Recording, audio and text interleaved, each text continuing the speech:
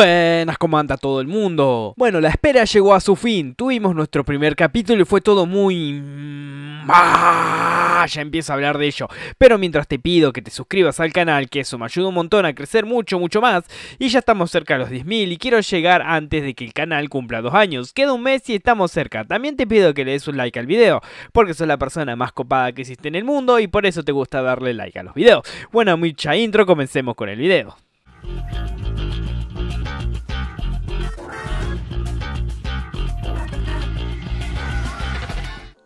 Este video vamos a tratar de hacerlo con el mínimo de spoilers posible, así que probablemente el esfuerzo que voy a hacer se me explote el cerebro, me agarre un derrame cerebral y una CB junto. Bueno, como dije hace más de un año estábamos esperando esto, un estreno más esperado que la sexta temporada de Boku no Hero, más esperado que el regreso de Bleach, más esperado que Spy Family, más esperado que Shingeki y la verdad que no decepcionó para nada este primer capítulo. Un capítulo perfecto, excelente, todo, todo, todo perfecto. Algo que muchas historias deberían aprender ya que acabamos de ver un primer capítulo excelente. Y no meter trama aburrida o cambiar la historia o dar suspenso. Acá se cumplió la adaptación del manga, tal cual como se deben hacer las historias. Por eso Mapa es la mejor casa animadora en estos momentos. Algo que debería aprender JC Staff. Ves que no es difícil hacer las cosas bien. Bueno, primer capítulo, excelente. La animación, excelente. A pesar de que había dudas de lo que podía hacer por una filtración que hubo, pero la verdad, muy excelente. Sé que en un momento fue medio raro una imagen de Denji en modo motosierra. Quisieron meter un 360 más un movimiento de la cabeza de Denji, más algo más que se notó raro, pero se notó que los de mapa dijeron, no hay que tener miedo al éxito, vamos a tirar toda la carne al asador y que pase lo que pase, vamos a hacer las cosas más extrañas posible y vamos a meterle todo el efecto y que salga como salga y a pesar que se vio raro, por el intento se merece un 9,5. Ahora, un apartado increíble que es el opening. La música me encantó. Es gusto personal que siempre la música sea un constante de la historia para despistar un poco. Ahora, ese nivel random de hacer un opening con películas de Tarantino es lo mejor de lo mejor es cine, gente, cine. No sé quién es el director de todo esto, pero se merece una alabanza. Por favor, hermano, hay que ser un genio. Sé que hay algunos despistados. Así que vean los videos del opening con las pelis de Tarantino, se van a caer de culo. Miren los shorts que subí, un edit que hizo alguien, no sé quién. Si saben quién es, díganme, así lo coloco en los créditos, porque el chabón hizo esto para que todos entendieran y fue un golazo. Algo que se tenía mucho miedo, hay que ser sincero, es que tan fiel va a ser el Nogore. La sangre del desmembramiento, la sangre del canibalismo, todo eso, pero la verdad me hizo recordar las buenas épocas allá por el 2014 cuando se hacían gores sin miedo a los llorones de Twitter.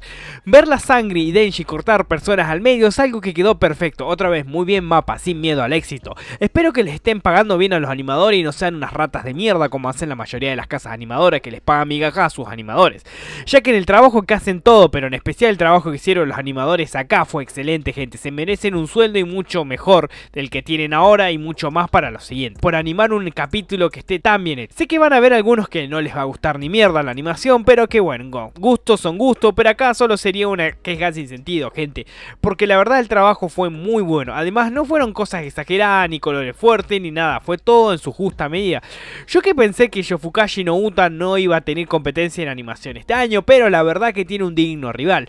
Hay que ver cómo sigue, porque la verdad los capítulos siguientes son muy complejos para animar, para que la gente no te salta el cuello diciendo, ay, ese monstruo es muy feo, ay, porque hay tanta sangre, ay, se está tragando el vómito. Spoilers. Ahora, otra cosa muy buena fue cómo trataron el inicio de Denji. Muy bien, fue sin cosas exageradas, pero tampoco como algo muy general. Fue tratado como debe ser, lo suficiente como para empezar a entender la motivación del personaje. Algo que se entenderá mucho mejor en el siguiente capítulo. Además, su relación con Pochita se podía sentir como que ambos se querían. A pesar de que la relación comenzó como una supervivencia, se forjó como una amistad que la sentís. Una cosa de locos, me reemocioné Pochita siendo quien es y ya sabrá más adelante que no tenía que vivir así. Pero se quedó a sufrir las penurias de Denji, comiendo una rodaja de pan al día. Paréntesis, algo que deberían tratar las casas animadoras más adelante. Ya sé que pido mucho, pero deberían ver cómo dibujar esa desnutrición. Ya que acá Denji sí veía como más demacrado y piel y hueso, hubiera sido excelente. Pero bueno, sé que es algo difícil de animar, lo entiendo, pero me gustaría ser un soñador. Cierro paréntesis. La amistad de Denji y Pochita algo increíble, además del sacrificio de Pochita para que Denji pudiera cumplir su sueño y Pochita estar con Denji para poder verlo me llegó al corazón. Me reemocioné loco. Me reemocioné, fue muy fuerte todo esto. Mirá que cuando leí el manga no me pasó eso, no sentí esa emoción que sentí ahora. Algo muy gracioso que esperaba, pero bueno, era algo del gusto personal mío. Cuando Pochita le habla a Denji me imagino una voz grave, gruesa y malévola, como diciendo, hola pibe, ¿cómo estás? No, esa voz, estuvo bien, no me quejo, pero una voz re grave hubiera quedado re gracioso y un alivio cómico para la descuartizada que vimos antes.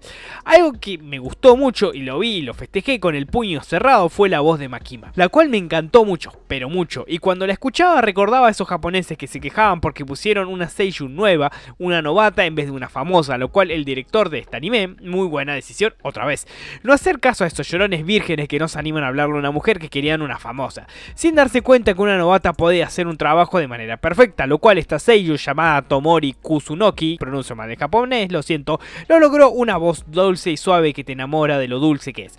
Pero se nota cómo esconde la maldad perfectamente. Fíjate, con un amor le dice a Denji, sos mi mascota, Esa voz decís, me vuelvo tu mascota solo por amor, no fue porque me amenaces. Tremendo fue. Ahora veremos cómo sigue, pero la verdad, excelente todo. Pero bueno, esta fue la review del primer capítulo. No quiero hablar muchas cosas más porque si no tiraría mucho spoiler y no es la idea. Quiero que todos vean el primer capítulo como se lo merece este anime.